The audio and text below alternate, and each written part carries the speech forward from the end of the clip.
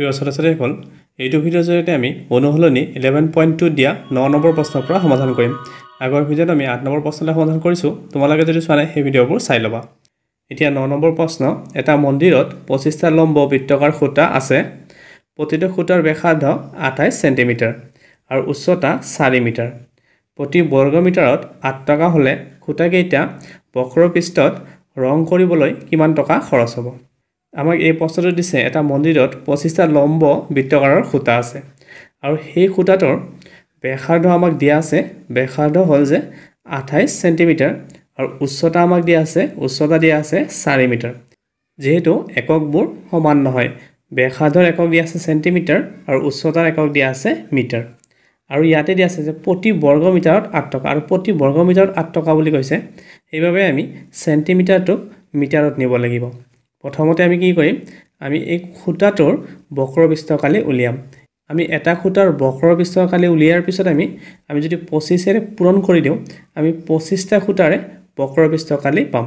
এই বক্ৰপৃষ্ঠকালিক প্ৰতি বৰ্গ মিটাৰ কিমান? আঠ টকা। আমি প্ৰতি বৰ্গ মিটাৰ যিহেতু আঠ টকা আঠেৰে যদি আমি পূৰণ কৰি দিওঁ তেতিয়াহ'লে আমি বক্ৰপৃষ্ঠত ৰং কৰা খৰচ কিমান হ'ব সেইটো উলিয়াব পাৰিম। চ' প্ৰথমতে কি কৰিবা তোমালোকে? এটা খুঁটাৰ বক্ৰপৃষ্ঠকালি উলিয়াই ল'বা। এটা খুঁটাৰ বক্ৰপৃষ্ঠকালি উলিয়াৰ পিছত আমি পঁচিছেৰে কি কৰিব লাগিব? পূৰণ কৰিব লাগিব। পঁচিছেৰে পূৰণ কৰি দিয়াৰ লগে লগে আমি কি পাম? যে পঁচিছটা খুঁটাৰ বক্ৰপৃষ্ঠকালি পাম। আৰু সেইখিনিক আমি যদি আঠেৰে পূৰণ কৰি দিওঁ তেতিয়াহ'লে আমি মুঠ খৰচটো পাম। দিয়া আছে। ব্যাসাৰ্ধ আমাক দিয়াই আছে। ব্যাসাৰ্ধ মানে আৰ। আমাক দিয়া আছে টুৱেণ্টি এইট চেণ্টিমিটাৰ যিহেতু এককটো আমি মিটাৰত নিব লাগিব সেইবাবে আমি এশৰে হৰণ কৰিব লাগিব। টুৱেণ্টি এইটক এশৰে হৰণ কৰিলে এশত দুটা শূন্য আছে দশমিক দুটা সংখ্যাৰ পিছত বহিব। এক দুই মানে ইয়াতে বহিব। এইটো হ'ব জিৰ' পইণ্ট টু এইট এককটো হ'ব মিটাৰ। আৰু আমাক খুঁটাটোৰ উচ্চতা দিয়া আছে। উচ্চতা মানে এইচ এইচটো দিয়া আছে ফ'ৰ মিটাৰ এতিয়া আমি এটা সূতাৰ বক্ৰপৃষ্ঠকালি উলিয়াম। বক্ৰপৃষ্ঠকালি সূত্ৰটো হ'ল যে টু পাই আৰ এইচ এতিয়া আমি ইয়াতে মানবোৰ বহুৱাম। পাই মানে twenty two by seven R মানে ইয়াতে জিৰ' পইণ্ট টু এইট আৰু এইচ মানে ফ'ৰ এইটো আমি কেঞ্চেল কৰিব পাৰোঁ। Seven into four twenty eight দশমিকটো দুটা সংখ্যাৰ পিছত আছে। ইয়াতে দুটা সংখ্যাৰ পিছত দশমিক দিব লাগিব। এক দুই। ইয়াতে দশমিক বহিব। এতিয়া এইখিনি আমি পূৰণ কৰিব পাৰোঁ। Twenty two into two forty four আৰু ফ'ৰ ইণ্টু ফ'ৰ ছিক্সটিন দশমিক দুটা সংখ্যাৰ পিছত আছে ইয়াতে দুটা সংখ্যাৰ পিছত বহিব। এইটো পালোঁ ছেভেন জিৰ' ফ'ৰ দশমিক দুটা সংখ্যাৰ পিছত আছে ইয়াতে দুটা সংখ্যাৰ পিছত বহিব। এইটো হ'ল ছেভেন পইণ্ট জিৰ' ফ'ৰ বৰ্গ মিটাৰ। যিহেতু আমাক পঁচিছটা খুঁটা দিয়া আছে এইখিনিক আমি পঁচিছেৰে পূৰণ কৰিলে পঁচিছটা খুঁটাৰ বক্ৰপৃষ্ঠকালি পাম। এতিয়া আমি এইখিনি কৰিম। এতেকে পঁচিছটা খুঁটাৰ বক্ৰপৃষ্ঠকালি হ'ল পঁচিছ পূৰণ এটা খুঁটাৰ বক্ৰপৃষ্ঠকালি হ'ল ছেভেন পইণ্ট জিৰ' ফ'ৰ বৰ্গ মিটাৰ। এতিয়া এইখিনি আমি ইয়াতে পূৰণ কৰিম। Seven point zero' four into twenty five. এইটো পালোঁ one seven six double zero' যিহেতু দশমিক দুটা সংখ্যাৰ পিছত আছে ইয়াতে দুটা সংখ্যাৰ পিছত বহিব। এইটো হ'ল ওৱান ছেভেন ছিক্স বৰ্গ মিটাৰ। আৰু প্ৰশ্নত দিয়া আছে যে প্ৰতি বৰ্গ মিটাৰত আঠ টকা খৰচ হয়। তেতিয়াহ'লে ইমান বৰ্গ মিটাৰত কিমান টকা খৰচ হ'ব? আমি ওৱান ছেভেণ্টি ছিক্সক এইটেৰে পূৰণ কৰিলে মুঠ খৰচটো পাম। শেষত মই লিখিছোঁ যে এতেকে খুঁটাকেইটা ৰং কৰা খৰচ one seventy six into eight. কাৰণ প্ৰতি বৰ্গ মিটাৰত আঠ টকা বুলি কৈছে প্ৰশ্নত দিয়াই আছে এইটো। ওৱান ছেভেণ্টি ছিক্সক এইটেৰে আমি পূৰণ কৰিম।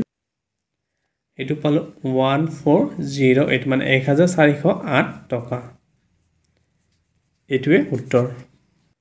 এতিয়া দহ নম্বৰ প্ৰশ্ন সাত চেণ্টিমিটাৰ ব্যাসৰ আৰু বাৰ চেণ্টিমিটাৰ চুঙাকৃতিৰ উচ্চতাৰ গ্লাছ এটাৰ পাৰ্শ্বীয় আৰু ভূমিতলৰ মুঠ পৃষ্ঠকালি কিমান হ'ব?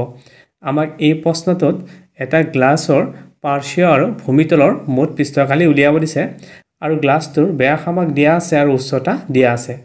যিহেতু প্ৰশ্নত আমাক ব্যাস দিয়া আছে ব্যাসৰ পৰা আমি ব্যাসাৰ্ধটো উলিয়াব পাৰিম। মানে ব্যাসক আমি দুইৰে হৰণ কৰিলে আমি ব্যাসাৰ্ধ পাম। মানে ব্যাসাৰ্ধ হ'ব ইয়াতে ছেভেন বাই টু আৰু উচ্চতা দিয়া আছে বাৰ চেণ্টিমিটাৰ এতিয়া আমি কি উলিয়াব লাগিব? পাৰ্শ্বীয় আৰু ভূমিতলৰ মুঠ পৃষ্ঠকালি চ' পাৰ্শ্বীয় পৃষ্ঠকালিৰ সূত্ৰটো কি? টু পাই আৰ এইচ আৰু ভূমিতলৰ কালি কি হ'ব? ভূমিটো এটা বৃত্ত আকাৰৰ। যিহেতু ভূমিটো বৃত্ত আকাৰৰ বৃত্তৰ কালি কি? পাই আৰ স্কুৱেৰ। মানে ইয়াতে সূত্ৰটো ব্যৱহাৰ হ'ব যে two pi R H plus ভূমিতলৰ কালি পাই আৰ স্কুৱেৰ। মানে টু পাই আৰ এইচৰ লগত আমি পাই আৰ স্কুৱেৰ যোগ কৰি দিব লাগিব। ইয়াত অকল ভূমিতলৰ কালিহে যোগ হ'ব ওপৰতো যোগ নহ'ব। কাৰণ গ্লাছৰ ওপৰৰ ফালেতো খোলা থাকে সেইবাবে ওপৰৰ কালিটো যোগ নহয়। ভূমিতলৰ কালিটো মানে এটাই বৃত্ত হ'ব। এটা বৃত্ত হোৱাৰ কাৰণে টু পাই আৰ এইচৰ লগত অকল তোমালোকে পাই আৰ স্কুৱেৰ যোগ কৰি দিব লাগিব। দিয়া আছে। গ্লাছটোৰ ব্যাস। গ্লাছটোৰ ব্যাস আমাক দিয়া আছে ছেভেন চেণ্টিমিটাৰ যদি ব্যাস ছেভেন চেণ্টিমিটাৰ হয় তেতিয়াহ'লে ব্যাসাৰ্ধ কিমান হ'ব? এইটো দুইটা হৰণ কৰি দিম। ব্যাসাৰ্ধ মানে আৰ এইটো হ'ব ছেভেন বাই টু চেণ্টিমিটাৰ আৰু উচ্চতা মানে এইচ উচ্চতা দিয়া আছে টুৱেলভ চেণ্টিমিটাৰ এতেকে গ্লাছটোৰ পাৰ্শ্বীয় আৰু ভূমিতলৰ মুঠ পৃষ্ঠকালি হ'ল পাৰ্শ্বীয় পৃষ্ঠকালি হ'ল যে two pi R H plus চোৱা গ্লাছটো এনেকুৱা।